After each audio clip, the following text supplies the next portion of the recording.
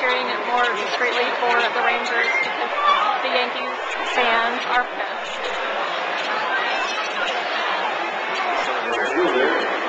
Go Josh Hamilton.